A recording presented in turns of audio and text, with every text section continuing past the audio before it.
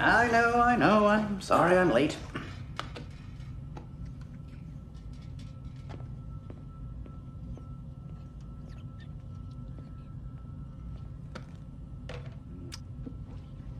That's a thick ass bar! Damn!